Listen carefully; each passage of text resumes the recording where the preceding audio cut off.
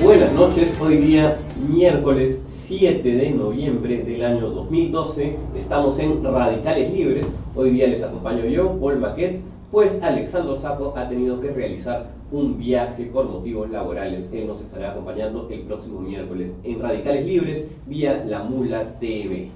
Y lamentablemente tengo que empezar este programa con una triste noticia, se trata del fallecimiento de Fidel Melquiades, hombre de teatro, su foto la estamos viendo en estos momentos en la pantalla, vinculado fuertemente al grupo Yuyashkani. Es una lamentable pérdida para el teatro popular de nuestro país y sin duda, como me decía una amiga más temprano, debe estar conversando con Bertolt Brecht en el cielo sobre teatro y cambio social y transformación social. Esta pérdida se suma a la de los compañeros periodistas que fallecieron en Tarma también esta semana. Realmente una semana de tristes noticias. Y bueno, desde Radicales Libres nos sumamos al luto que estas partidas han causado en estos días.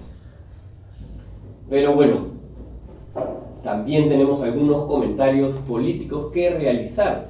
En primer lugar, quisiera comentar brevemente el siguiente video de las declaraciones que ha dado Salomón Lerner Gitis esta mañana en el programa de Beto sobre un polémico tema, la amnistía y la participación política de los eh, ciudadanos que han formado parte del movimiento llamado Movadef.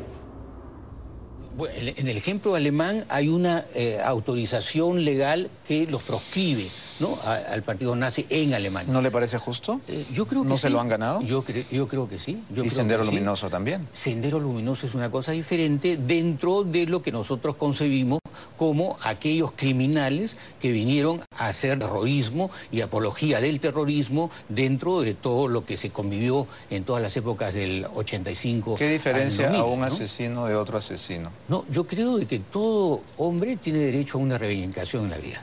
Y si estas personas, estas, eh, estos, nuevamente estas personas que están formando un movimiento quieren participar en la vida política respetando el Estado de Derecho, respetando las normas constitucionales, yo creo que hay que darle la oportunidad. Tengo la impresión de que usted estaría de acuerdo con una amnistía general, ¿lo está?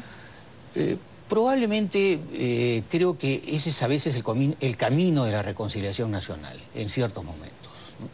Hay que, hay que, hay que a veces eh, tener eh, la posibilidad de reconciliarnos entre todos los peruanos. Si todo hombre tiene derecho a una segunda oportunidad, Abimael Guzmán la tiene. Yo creo que si él reivindicaría eh, sus culpas, podría ser que él tenga que reivindicarse, aunque él ya tiene una sentencia que no lo reivindicaría en este momento. ¿no? Él, él tiene una sentencia de cadena perpetua que no lo podía reivindicar dentro de la sociedad a él. ¿no? Pero amnistía significa...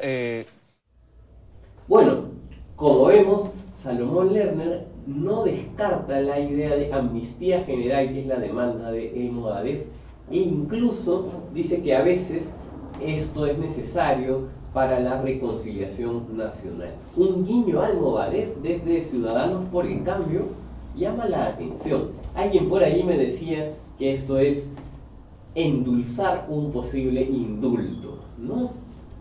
Que se estaría cocinando darle el visto bueno al indulto a Fujimori y que para que esto no sea tan chocante se estaría planteando también una figura tipo amnistía o liberación de el otro lado, de las personas que estuvieron involucradas en el conflicto armado, en los grupos alzados en armas, de los movimientos que realizaron acciones terroristas, que de esta manera se plantearía como una reconciliación nacional. Bueno, personalmente no creo que la reconciliación nacional se pueda hacer simplemente con amnesia, que es la palabra de la cual viene amnistía. No, se trata de respetar la justicia, los fallos de la justicia y a partir de ahí reconociendo las culpas es que se puede hablar de reconciliación, no olvidándolas. Bueno, pero hay algunos otros temas que quisiera comentar rápidamente. Está el tema de la parada y allí yo quisiera eh, dar lectura rápidamente algunas ideas de una carta que está circulando, que probablemente no va a salir en ningún otro medio de comunicación. Se trata de una carta que está siendo firmada por pobladores del Cerro San Cosme, el asentamiento humano más antiguo del Perú, a raíz del operativo que se realizó en la parada y de todo el discurso de los medios de comunicación luego de eso, en el que prácticamente se equiparaba vivir en la parada, vivir en el Cerro San Cosme y ser delincuente. Bueno, los vecinos del Cerro San Cosme están rechazando este planteamiento y están exigiendo que se les trate con dignidad, están pidiendo que se respete su derecho al trabajo, se está pidiendo su respeto a las familias residentes en el Cerro San Cosme, se rechaza la discriminación y la estigmatización y se pide una mesa de diálogo y de trabajo con las autoridades municipales para escuchar la voz de todos los sectores de vecinos del Cerro San Cosme y desarrollar proyectos de inclusión social, trabajo y desarrollo. Bueno, tengo entendido, ha trascendido la noticia de que eh, efectivamente ya se estaría acercando la Municipalidad de Lima a algunos actores sociales claves del Cerro San Cosme. Ojalá que esto camine con buen pie, porque muy bien se desalojó el mercado mayorista de la parada, ahora la parada ya no es mercado mayorista, pero ¿cuál va a ser la solución a toda la dimensión social del problema? Que no es un problema meramente de mercadeo mayorista, sino es un tema que también involucra una dimensión social que tiene que ser debidamente atendida. Muy bien.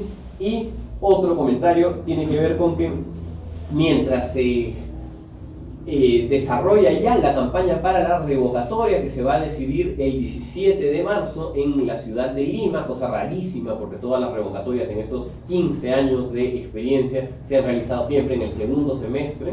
Sorprende la celeridad, el apuro del Jurado Nacional de Elecciones en este caso, Hoy día, la Municipalidad de Lima anunció cartera de inversión por 4 mil millones de dólares en nuestra ciudad, en vías, en la vía expresa del sur, en la vía expresa de Javier Prado, Fosset, La Marina, todo este circuito que conecta con el Callao, y en la hora las vías nuevas de Lima y vía Parque Rímac realmente toda una inversión que va a beneficiar al transporte en la ciudad y que no debería detenerse por este proceso de revocatoria que, bueno, anuncio de una vez mi voto es obviamente por el no a la revocatoria de esta gestión que es transparente, está realizando obras por la ciudad y tiene una nueva visión de lo que debe ser el desarrollo de Lima con mayor prioridad para el gran transporte masivo, los espacios públicos, la cultura, la transparencia, la participación ciudadana. En fin, eh, también quería comentar algo relacionado con las elecciones de Estados Unidos, como eh, es una noticia que va a pasar desapercibida probablemente, porque no solamente se ha decidido la reelección de Obama, sino que diversos estados han realizado votaciones específicas sobre diversos temas polémicos, entre ellos el matrimonio igualitario, la despenalización de las drogas, el tema del aborto y otros asuntos relacionados a la relación entre las corporaciones y el financiamiento a los partidos políticos. Y, quisiera que veamos rápidamente esta imagen que está en pantalla, donde se ve cuáles han sido los resultados de algunas votaciones claves. Y aquí yo tengo que hay cuatro estados que han votado de una u otra manera a favor del matrimonio igualitario, es decir, de incluir como figura de matrimonio o unión civil, según el caso, a las parejas del mismo sexo. Eh, los estados de Washington, Maryland y Maine han aprobado leyes a través de un referéndum el día de ayer que permiten el matrimonio igualitario. Y el estado de Minnesota ha votado no para un referéndum que pedía que se especifique que matrimonio es solo la unión de hombre y de mujer. Por lo tanto, de esta manera, este Estado también deja la puerta abierta para que su aparato judicial defina si acepta o no el matrimonio de personas del mismo sexo. Avances en los derechos civiles y en los derechos humanos en general. Luego tenemos que varios estados han votado para aprobar la legalización del consumo, de la venta de marihuana a mayores de 21 años, incluyendo un alto impuesto a este consumo. Se trata de los estados de Colorado, de Washington y de, eh, de Colorado y de Washington. En un estado, en Oregon, la propuesta perdió. Y al mismo tiempo hay dos estados que están permitiendo el uso de la marihuana para fines medicinales. Se trata de Massachusetts y Montana. Pero, digamos, algo más. En Florida se perdió una propuesta que pedía prohibir la, la utilización de eh, dinero público, dinero del Estado, para la realización de abortos. De esta manera se eh, permite entonces la utilización del servicio médico público para la realización de abortos. Y finalmente, hay dos estados, y esto es muy interesante para la democracia en Estados Unidos, que están tratando de controlar la inversión de las grandes corporaciones en la campaña electoral. Como sabemos, en 2010 la Corte Suprema de Estados Unidos quitó todos los límites para que las grandes corporaciones pusieran plata por cantidad en las campañas electorales y eso ha dado como resultado que esta última campaña haya sido la más cara de la historia del mundo.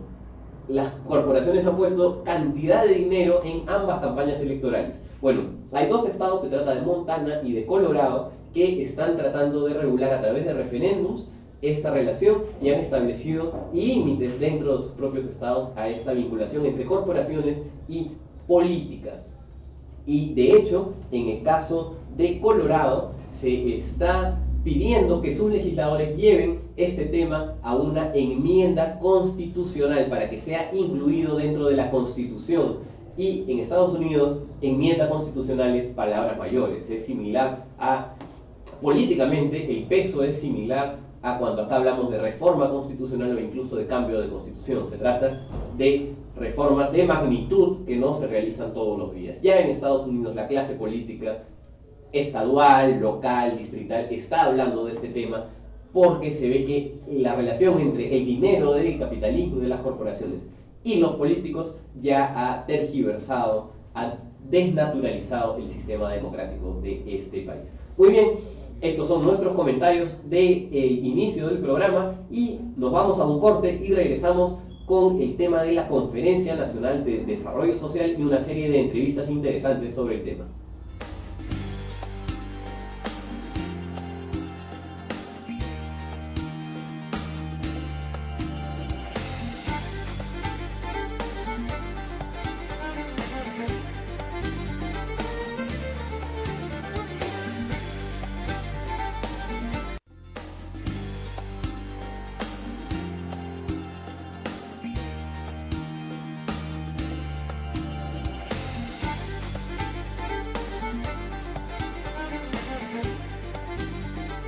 Y continuamos en Radicales Libres vía La Mula TV, hoy día miércoles 7 de noviembre del año 2012. Y vamos a tratar un tema interesante. Se va a realizar a partir de mañana la Conferencia Nacional de Desarrollo Social, CONADES, que, bueno, ahora nuestro invitado nos explicará con más detalle, pero es la principal reunión, el principal encuentro de organizaciones de la sociedad civil, eh, incluyendo instituciones como ONGs y organizaciones sociales como las GTP, AIDC, entre otras, que se realiza desde hace varios años en nuestro país. Se va a realizar en Lima y tiene como principal tema la crisis y las crisis que está enfrentando nuestro mundo y nuestro país en este momento, crisis económica, financiera, alimentaria, energética, etc. Que todo esto tiene que ver con el modelo de desarrollo que tiene nuestro país y el mundo en estos momentos. Entonces, para eh, conversar sobre ese tema, tenemos la compañía de Antonio Zambrano, de Forum Solidaridad Perú, y además hemos realizado, nuestro reportero Ahmed Acosta ha realizado una serie de eh, entrevistas a diversos personajes que están participando en esta conferencia, en este encuentro a partir del día de mañana. Entonces vamos en estos eh, bloques del programa a conversar con Toño y a ir viendo algunos de estos videos para poder hacernos una idea de los temas que se van a discutir en este importante evento que se va a realizar en la capital. Entonces, bueno, Toño, muchísimas gracias por tu presencia. No, muchas gracias a ti por, por la invitación y por abrir este espacio a la discusión también, ampliar la discusión de lo que es la CONADES. Bueno, y agradecer a la Mula que está realizando una cobertura especial para este tema y eh, recordar que va a haber una transmisión en directo, ¿verdad? Así es, va a haber una transmisión en directo de los debates, de los momentos claves de la conferencia, ¿no? El momento en el que la sociedad civil va a estar discutiendo temas, eh, lo que consideramos claves para eh, el contexto nacional e internacional, ¿no? A ver, cuéntanos, ¿qué cosa es la CONADES? Bueno, la Conferencia Nacional de Desarrollo Social es un espacio, como tú ya lo dijiste, en el que se apertura una serie de debates entre diferentes organizaciones sociales a nivel nacional. Nosotros consideramos que es un momento importante porque no solamente eh, se abren debates, sino también se marca la pauta para consensuar agendas en diferentes territorios del país. ¿no? Pero ¿quiénes participan? Por ejemplo, bueno, este año tenemos la participación de 200 miembros, dirigentes, líderes eh, de organizaciones sociales, organizaciones no gubernamentales, de, todo tipo, de eh, en este año 15 regiones del país. Más de la mitad del país va a reunirse eh, con sus delegados, aproximadamente 80 a 90 delegados de todas partes del país y eh, un número parecido de Lima van a reunirse y discutir sobre estos temas. Este 200 personas. 200 personas. Y se trata de representantes de ONGs, eh, también hay organizaciones sociales, ¿cómo es la composición? Se divide, claro, entre eh, algunos representantes de organizaciones no gubernamentales, lo que se llaman ONGs, pero muchos dirigentes campesinos, líderes de rondas campesinas, de frentes de defensa, de organizaciones sociales distintas, de prácticamente todo el territorio nacional, ¿no? de, o de gran parte del territorio nacional, norte, centro y sur del país. Digamos, entonces este es el encuentro de la sociedad civil, así como la CONFIEP realiza su encuentro donde están todos los empresarios del país representados, aquí la sociedad civil realiza un encuentro donde va a discutir diversos temas. Hay un, un, gran esfuerzo conjunto de justamente estas organizaciones que se reúnen para lograr articularse entre sí y constituir este encuentro, este evento, esta conferencia nacional. Bueno, ojalá que la prensa, los grandes canales de televisión, los políticos, los precandidatos presidenciales le prestaran la importancia a este tipo de encuentros de sociedad civil que le prestan, por ejemplo, al encuentro de la CONFIEP. Por eso hacía la comparación, ¿no? Claro, este año, bueno, hay que recordar que es la edición número 17 de la CONAES. ¿no? 17. Claro. Y se está realizando anualmente. Anualmente, en algunos otros casos, bianualmente, dependiendo del contexto regional. Lo que pasa es que hace varios años, hace 8, 10 años, la CONADE se descentralizó, así que en, en, muchas de las regiones se desarrollan lo que se llaman las COREDES, que son conferencias regionales de desarrollo social. A ver, cuéntanos cómo ha sido ese proceso. En los 90 se realizaron las primeras CONADES. Exacto, CONADES nacionales inmensas con varios miles de personas, de asistentes de todo el país. Eh, con el tiempo, la, la, las mismas regiones en diferentes puntos se fueron organizando y planteando la descentralización de las discusiones, ¿no? porque finalmente son momentos de discusión de las discusiones y de esa manera se fueron dando núcleos en cada región y eh, llevando a cabo coredes. Eh, ¿Esto es un proceso de descentralización que se dio en, en, qué momento? Bueno, hace ya varios años, eh, dentro de esta década, ¿no? Que, después de la, con, con, la transición a la con el proceso de transición democrática después de la caída del Fujimorismo, claro, se, hay una, no exacerbación, pero sí un desarrollo de los debates regionales también discutiendo el proceso de descentralización que empezaba con el gobierno de transición de Valentín Paniagua. Todos estos procesos nacionales fueron desencadenando también la posibilidad de desarrollar estas coredes. Entonces, durante varios años se realizó en regiones. Exacto, en regiones y eventualmente eh, daban como resultado una conferencia nacional. ¿no? O sea, no se desarrollaban anualmente, sino a veces cada dos años y dependiendo del contexto que se iban dando en el norte, centro y sur del país. ¿no?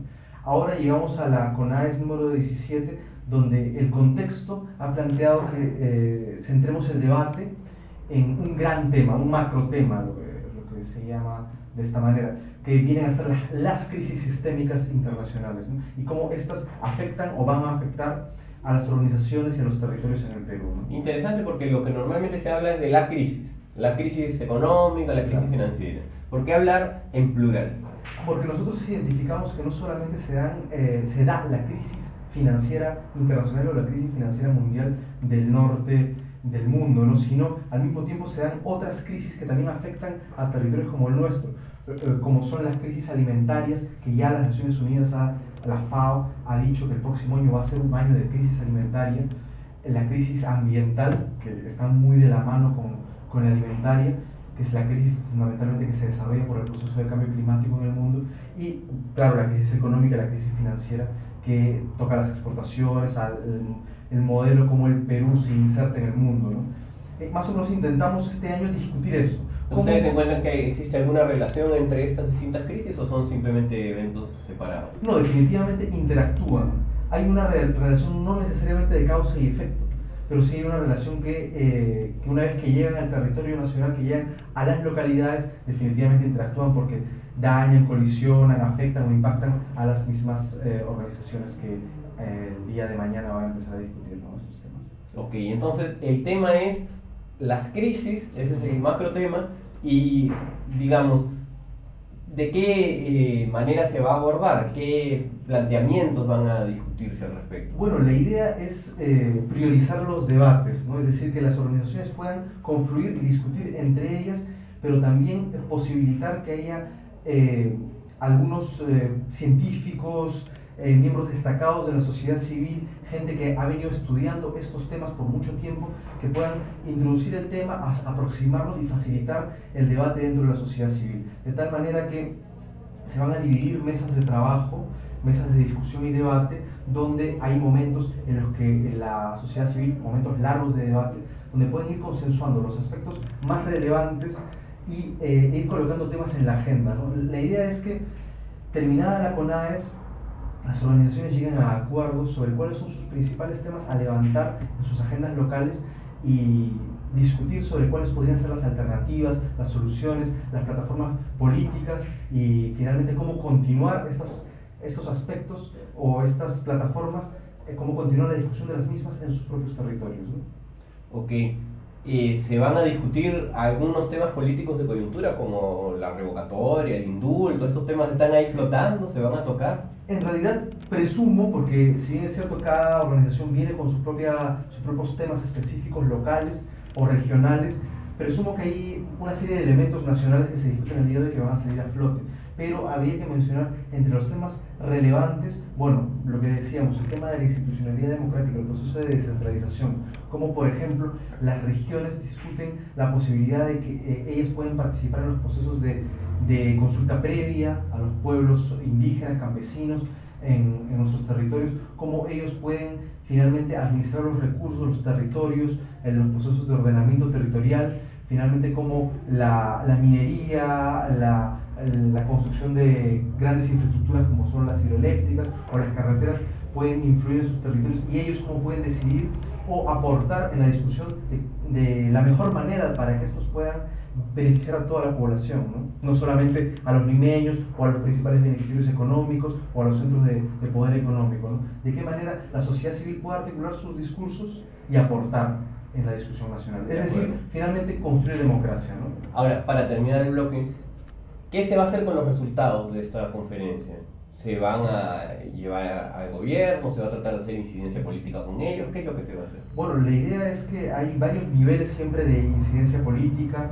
Eh, el primero, el más importante quizá es el, consenso entre organizaciones sociales, la sociedad civil. Luego eh, sería cómo estas, estas organizaciones sociales, miembros, partícipos o facilitadores de, la, de que se lleve a cabo la conferencia, llegan a sus regiones, a sus localidades e interactúan con los niveles de gobierno o de Estado que le corresponden, gobierno regional, gobierno local, y finalmente cómo esto también puede direccionar un poco o permitir que haya un diálogo directo con el Estado central. ¿no? O sea, facilitar que exista un, una plataforma, una agenda de la sociedad civil que, que, pueda marcar la pauta de, por ejemplo, cómo nos acercamos a, a una mirada desde este desde valga la redundancia, la sociedad civil frente al Estado, a los procesos de negociación sobre consulta previa, descentralización, eh, bueno, también soberanía alimentaria, eh, con el Estado. ¿no? De acuerdo. Entonces estamos con Antonio Zambrano, quien nos está contando acerca de la Conferencia Nacional de Desarrollo Social que se realiza a partir de mañana y pasado, ¿verdad? Aquí en Lima. Y eh, terminamos este bloque de Radicales Libres. En el siguiente bloque vamos a compartir algunas de las entrevistas a distintos personajes que van a participar de la conferencia a partir de mañana.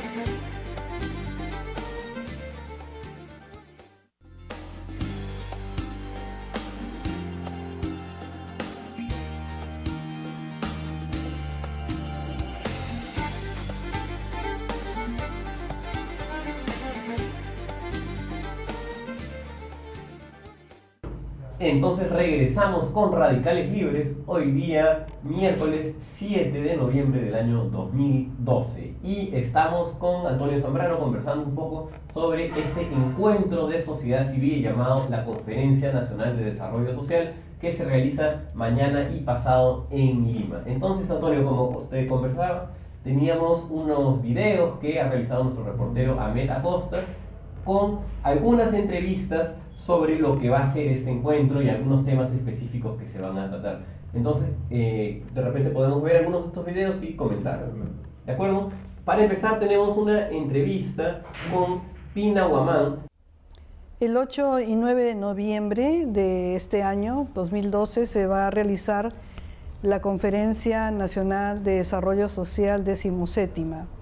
Esta conferencia tiene como objetivo central que un conjunto de delegados y delegadas de diferentes departamentos del país o regiones puedan discutir más o menos unas 200 personas por dos días un tema central. Este tema central es lo que hemos llamado la crisis sistémica y los derechos humanos, eh, para repensar juntos el modelo de desarrollo económico que tenemos en el país, que si bien es exitoso en sus cifras macroeconómicas, como todos reconocen, sin embargo, eh, también es consenso que a pesar de las cifras de crecimiento económico, no solamente hay un malestar en el país, sino que eh, claramente muchos sectores sociales y regiones del país no sienten los efectos del crecimiento en la calidad de vida. Por el contrario, eh, en los últimos años, diríamos, y en este último eh, año en particular se ha sentido con mucha fuerza que uno de los grandes malestares expresados en diferentes conflictos es el de un modelo económico basado en la extracción de materias primas que tiene efectos negativos en la vida de la comunidad. También nos preocupa la sostenibilidad de ese crecimiento económico en la medida en que se da en medio de una crisis económica que se va a expresar en la baja del volumen de requerimientos de nuestros productos de exportación en sus precios, porque somos una economía vulnerable, pero que también el cambio climático que está viendo en el mundo tiene en nuestro país un territorio de los más propensos a sentir ese cambio climático. Que el aumento de los precios de productos agrícolas como el trigo, como la soya, también se van a sentir a nivel nacional y por lo tanto esta crisis alimentaria nos va a afectar. Y la crisis económica que hoy en el mundo no se resuelve ni en Europa ni en Estados Unidos, también nos va a afectar. Por eso es que queremos trabajar dos días estos puntos, no solamente para hacer un diagnóstico, sino para plantear eh, propuestas, una posibilidad de incidencia en políticas públicas, acciones específicas que nos permita articular el mundo de la investigación, el mundo de la promoción, con organizaciones y movimientos sociales. Para trabajar sobre estos temas vamos a empezar la Conferencia Nacional de Desarrollo Social con una exposición inaugural de Jürgen Schulz, economista de la Universidad del Pacífico, que nos va a presentar el marco de la economía del país en este contexto internacional. Luego vamos a tener un panel con diferentes actores y actoras sociales que nos puedan decir en concreto cómo este contexto incide en la realización de sus derechos Vamos a tener luego un panel donde se plantearán diversas propuestas con expertos nacionales e internacionales y luego vamos a trabajar en tres mesas simultáneas. La primera tiene que ver con un tema central que es el tema de la institucionalización democrática y reforma del Estado.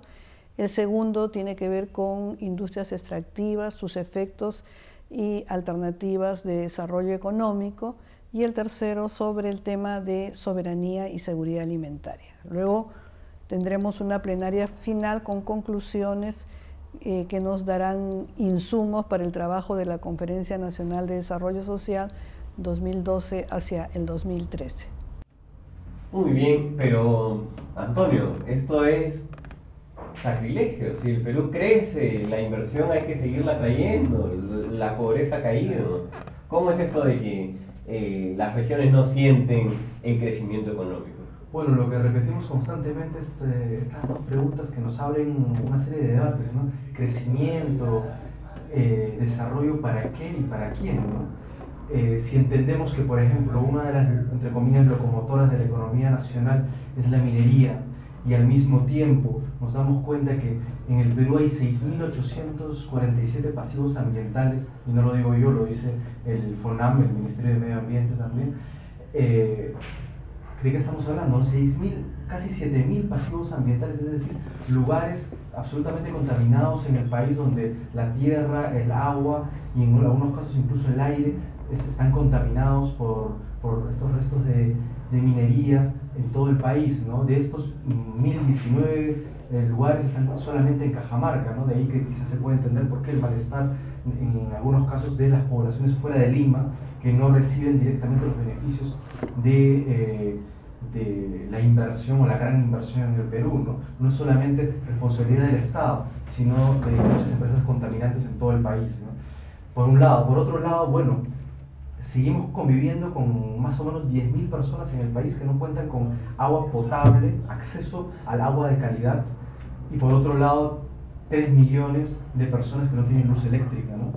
Por eso eh, eh, el título de este libro de Jürgen Schul, que justamente va a inaugurar la, la presentación mañana, ¿no? Bonanza macroeconómica y malestar microeconómico. Exacto. Interesante, interesante. Bueno, no me pierdo esa conferencia de Chus mañana. ¿Se puede acceder a ella por internet? Sí, se va a transmitir en vivo, justamente a través de la, de la mula. Varios momentos diferentes, varios debates, como les decía, se van a transmitir en vivo a través de la mula. Muy bien. Bueno, para seguir hablando un poco de este tema extractivista, ¿qué te parece si antes de irnos al corte vemos eh, la entrevista con José de Chávez de Cooperación? El tema de los conflictos sociales vinculados a industrias extractivas como la minería eh, han ocupado un rol muy importante en el debate en el país en los últimos tiempos. Quizás el último año ha sido un buen ejemplo con conflictos tan emblemáticos como es el caso de Conga o lo ocurrido en Espinar. Y en este evento ECONADES este, este tema va a estar fuertemente presente porque es un tema que está siendo trabajado por un conjunto de instituciones pero además porque es un tema que ha abierto toda una agenda de debate, una agenda de discusión en términos de derechos que son afectados por las industrias extractivas, en términos de demandas de políticas públicas que se están discutiendo actualmente en diferentes espacios en el país. Los conflictos mineros están planteando varios retos. Eh, uno primero es eh, identificar cuáles son las tendencias que se están presentando en estos conflictos, qué están haciendo los diferentes actores en términos de poblaciones, en términos de propias, las propias empresas, el Estado, eh, qué respuestas buscan darle a los conflictos y qué estrategias están en curso. Eh, el espacio de CONADES yo creo que va a permitir precisamente identificar esas tendencias, pero también precisar cuáles son las distintas políticas públicas que se están debatiendo actualmente en el país. Varias de estas políticas públicas tienen que ver con algunos aspectos fundamentales de la agenda de desarrollo en el país. Se está evaluando, por ejemplo, el tema de la gestión ambiental que existe en el país y la que deberíamos contar. Se está discutiendo, por ejemplo, el tema de las concesiones mineras, cómo se disponen los territorios desde el Estado Nacional. Se está discutiendo la necesidad de hacer ordenamiento territorial, zonificación económica y ecológica. Se está discutiendo el derecho a la consulta previa, libre e informada. No hay que olvidarnos que el país aprobó el año pasado una ley de consulta previa, libre e informada y se ha discutido incluso un reglamento. Estos son algunos de los distintos temas de políticas públicas que se están debatiendo y que sin duda en un espacio como el CONADES será muy importante discutir y evaluar. Dentro de las estrategias que las poblaciones están, están implementando. Una primera tiene que ver con el tema organizativo. Sin duda, eh, una respuesta frente a la presencia de las industrias extractivas. Bueno, la expansión de las industrias extractivas, la minería y otras industrias similares en nuestro país que genera alta conflictividad social. Sí, eh, bueno, eh, lo ha dicho ya José, pero hay que tomar en cuenta que en nuestro país prácticamente los últimos años han habido de manera intermitente, pero más o menos estable, alrededor de 200 a 250 conflictos sociales y casi la mitad son conflictos socioambientales. Entonces hay que preguntarnos qué es lo que está pasando, cómo lo sienten, cómo sienten todas estas grandes inversiones, si realmente significan inversiones económicas en el territorio o es inversiones de manera literal que están invirtiendo el orden eh, de la manera como vive la gente, cómo desarrolla su cultura, cómo desarrolla sus propuestas económicas pequeñas, pero que finalmente son eh, parte de, de lo que constituye nuestra nación, ¿no? la nación que está en construcción, que es la nación peruana. Ahora, este incremento territorial de la, de la actividad minera tiene que ver con una de las crisis también que, se, que entiendo que se discutirá mañana, que es el tema de la crisis energética y las políticas energéticas del país. Claro, se ha hablado bastante los últimos meses en realidad sobre la posibilidad de que en los próximos años tengamos crisis energética, pero no se ha dicho nunca por qué. Y es básicamente porque el día de hoy en, el Perú está negociando dos, dos escenarios para su crecimiento energético que posiblemente impactarían de manera seria a las poblaciones.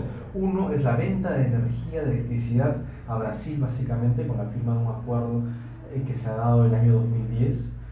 Eh, y otro es porque la demanda de energía eléctrica de la minería está creciendo de manera sostenida aproximadamente 7% cada año. ¿Eso qué, qué implica? Que el Estado ahora está planteando cerrar o cortar con muros los ríos, es decir, construir represas hidroeléctricas como lo plantea por ejemplo en el río Marañón, hacer 20 hidroeléctricas uno detrás de otra en el río. Lo 20 hidroeléctricas en un único río. Claro, lo que implica básicamente desaparecer el río y convertirlo en una serie de lagunas. ¿no? Eh, eso por, solamente en el río Marañón, ahora se plantea hacer otras en el río Guayaga, en el río Inambari, en el sur del país. Hay que recordar que parte del conflicto por el que Alan García estuvo a punto de suspender las elecciones en Puno el año pasado, entre otros, eh, era porque las movilizaciones contra la hidroeléctrica de Inambari. Ahora, Toño, no, normalmente se habla de bueno, que no se puede detener el progreso, que es el crecimiento del país, que la electricidad para la gente. Lo que tú nos estás planteando aquí es algo interesante. No es necesariamente que estos proyectos sean vitales para darle electricidad a los pueblos rurales, etcétera, sino se explica por el tema del crecimiento minero. Claro, mira, bueno, no solamente la infraestructura hidroeléctrica, bueno, por ejemplo, Chaín 2, que es una hidroeléctrica que al día de hoy tiene un estudio de impacto ambiental en el norte del país, en la frontera entre Amazonas y Cajamarca, eh, está pensado en buena parte en realidad para abastecer de electricidad a lo que en, el próximo año, si es que vuelve a aparecer el tema, eh, sería Conga, ¿no? Más que, más que la, a la ciudad de Cajamarca. Si analizamos la ley... ¿Cómo se llama el proyecto? Chaín 2. Es una hidroeléctrica que se construiría para cortar el flujo de agua del río Marañón. Y es una de las hidroeléctricas del, del proyecto Marañón. Sería posiblemente la, la tercera hidroeléctrica más grande del país. Y no está planificada necesariamente para abastecer de energía a Cajamarca, sino alrededor del tema del proyecto Si lo analizamos en términos económicos, lo más práctico para la empresa va a ser justamente eh, tirar una línea de transmisión hasta llegar a lo que en varios años y luego de enfriar el conflicto actual sería la minera Conga, entre otras mineras grandes que hay en el norte y en el sur del país. Pero mira qué interesante, porque cuando se analizan los impactos ambientales de un proyecto minero, se analizan los impactos ambientales del proyecto específico, pero no necesariamente de su eh, suplemento de energía, de cómo obtiene la energía. Normalmente se piensa, claro, que la minería solo se desarrolla en el tajo abierto, que es en la, mayoría de los casos que se da en nuestro país. Eh, sin embargo, hay una serie enorme de, de, cadenas que se dan alrededor. Una de ellas es la, la energética, otra de ellas, por ejemplo, es la del agua. ¿no? Sabemos que una, lo que consume una familia normal en el campo, eh, en términos de agua, de recurso hídrico, para consumo humano, en 20 años lo consume una, una minera en una hora ¿no? Eh, en nuestro país. Es decir, eh, en términos hídricos, en términos energéticos, que también es un consumo enorme de, electricidad que hace la, la minera para poder producir o extraer el mineral, y en términos incluso de vías, eh, o de carreteras en nuestro país, la minería eh, rearticula o reconstituye o reordena el territorio a su alrededor. Mira, qué interesante. ¿Este tema de las hidroeléctricas y energético también va a ser tratado mañana? Sí, se va a mencionar eh, y se va a discutir en los dos días de, de discusión dentro de una de las mesas, que es la mesa que va a discutir justamente todo esto, lo que significa las, entre comillas, industrias extractivas o procesos extractivos en nuestro país. ¿no? Mira, qué interesante. Bueno, antes de que el tiempo nos gane, quiero también que veamos el video de Alejandra Laiza de la Red G, que está relacionado con las alternativas de transiciones al extractivismo, justamente para no quedarnos en la crítica, sino también a visualizar algunas alternativas. Las discusiones sobre los nuevos modelos o los posibles modelos hacia dónde podemos ir. Muy bien, entonces vamos adelante con el video de Alejandra Laiza. Pensar en alternativas al extractivismo en nuestro país parece muy difícil, sobre todo por la importante dependencia que tenemos de los recursos de la renta derivada de la minería y de las industrias extractivas como los hidrocarburos. Sin embargo, la realidad de los conflictos socioambientales en nuestro país y la cada vez mayor presión sobre los recursos naturales como tierra y agua nos va mostrando en un contexto además grave, de grave impacto del cambio climático y la crisis derivada de este, que tenemos que pensar otra manera de relacionarnos con los recursos naturales. Pero a la vez no podemos dejar de la noche a la mañana la, dependencia extractivista que tenemos. Entonces, desde muchas organizaciones en el Perú y en la región hemos comenzado a pensar cómo salir de este modelo de desarrollo, cómo pensar alternativas al extractivismo y para ello hemos comenzado a hablar de transiciones. Transiciones hacia el post-extractivismo. Es decir, salir de ese extractivismo exagerado y caminar hacia un extractivismo que pueda no solamente ser regulado, sino que poco a poco nos permita ir saliendo de esta gravísima dependencia. Es decir, no solamente necesitamos tener buenas leyes ambientales, sociales, fiscales que se cumplan, que redistribuyan la renta, sino que poco a poco tenemos que invertir en nuevas estrategias de desarrollo que sean más sostenibles, que sean más inclusivas y que verdaderamente aseguren en mediano y largo plazo alternativas de vida digna, de cero pobreza, pero con una condición de sostenibilidad ambiental para nuestro país. Estos caminos no son fáciles, pero eso no significa que no tengamos la urgencia de empezar a pensarlos, a desarrollarlos y implementarlos desde nuestras agendas como sociedad civil, pero también desde los gobiernos de nuestro país. Salir del extractivismo depredador, de ese extractivismo exagerado es urgente. Y no lo vamos a lograr solamente regulando eh, de manera general o, aprovechando o optimizando los recursos derivados de la renta.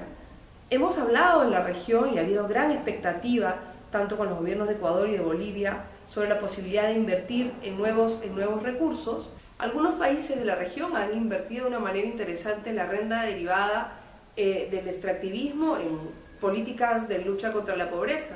Y eso está pasando en nuestro país. Pero tenemos que tener cuidado.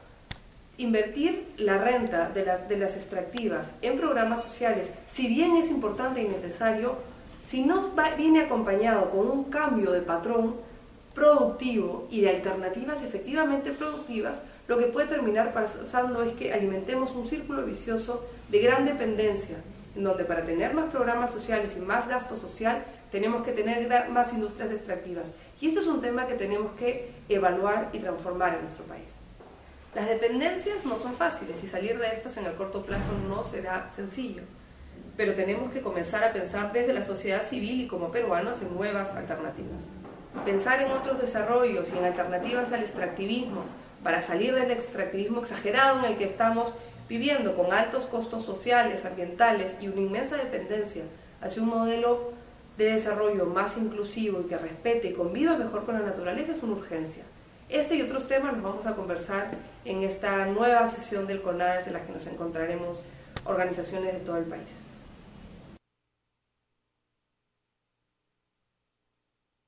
Alternativas al extractivismo. Qué pena que nadie eh, desde el gobierno se acuerde de este tema, ¿no? Sin embargo, es un tema fundamental a discutirlo con el Estado. ¿no? Hace algún tiempo Óscar Ugarteche decía, ¿no? nuestro país básicamente eh, sobrevive o plantea sus exportaciones en función de vender piedras y postres. ¿no? Piedras que es básicamente la minería, los, los minerales, y postres que es, que es eh, los pocos eh, alimentos que exportamos de manera masiva al, al exterior, ¿no? que son básicamente los postres dentro de, del buffet del, de, mundial. ¿no? En, en, ese sentido nos hacemos la pregunta, ¿es sostenible eh, estructurar todo nuestro Estado, todos los, los, bienes y el futuro del país a, estas, a, los, a, las piedras y los postres? Valdría la pena hacer una precisión porque a veces creo que hay mucha confusión. Cuando uno cuestiona el extractivismo como ismo, no está cuestionando la actividad extractiva, la extracción en sí misma. No, no, de, definitivamente se necesitan minerales para la producción de una serie de, de, de bienes, eh, incluso de servicios, pero eh, qué tanto lo necesitamos y qué tanto tenemos que aprovechar el día de hoy, el boom que existe sobre esto, para invertirlos, por ejemplo, en educación, en salud, para que, uno, que la gente viva realmente mejor, es decir, que no solamente crezcamos macroeconómicamente 7% anual, sino que seamos quizá 7% más felices al año, ¿no? O sea, nadie, nos, nadie está pensando si la población vive mejor, sino si crece y tiene un poco más de plata. ¿Cómo podemos diversificar nuestra economía y mejorar al mismo tiempo la vida de la gente de manera concreta y sostenible. Muy bien, todo esto estará siendo discutido en la Conferencia Nacional de Desarrollo Social a partir del día de mañana y el enlace para verlo en directo va a estar disponible en La Mula. Muchísimas gracias, Toño. Tú sabes que el tiempo en televisión es así abusivo. Sí. Gracias a ti y a La Mula por este espacio que han dado a la CONADES. Espero que se repita en los próximos años. Muy bien, muchísimas gracias a ustedes por su sintonía y nos vemos en Radicales Libres el próximo miércoles.